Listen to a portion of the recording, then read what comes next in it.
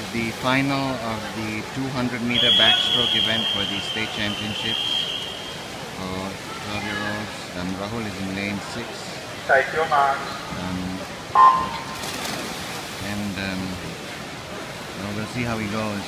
Um, it's going to be a very tough race. Um, anyone, uh, I think um, anyone in lanes 3, 4, 5 or 6 um, could, could win. Rahul will need to swim his best. Will need to break his personal best. Um, and he has a chance for either gold, silver, bronze or fourth.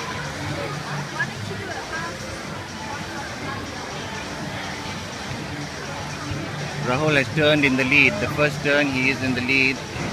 Um, can he keep it up? Um,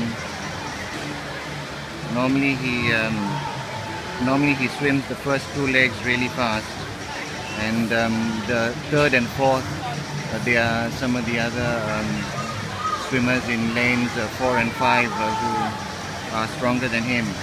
So um, he- he'll need to keep his um, he'll need to keep it up. Come on, Rahul. Go Rahul, come on! Rahul's in the lead at the 100 meter mark.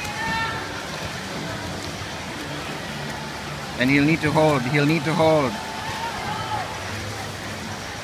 You see in lane 4, Jack Wilson, he has not ever beaten Jack Wilson in the 200 meter backstroke event. Um, in a final, he has never beaten um, he has never beaten Robert Bonzal in the 200 uh, meter backstroke as well. Neither has he beaten Ross Goodison.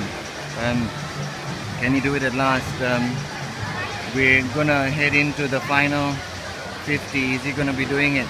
Um,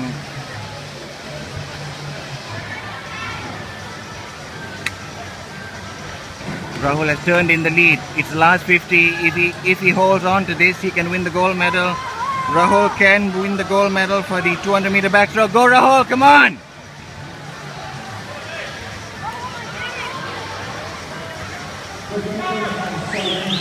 Okay, this is where Ross Goodison and where Jack.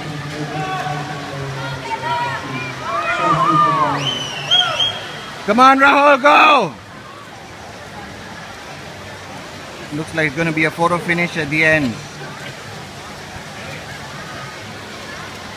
Come on, Rahul!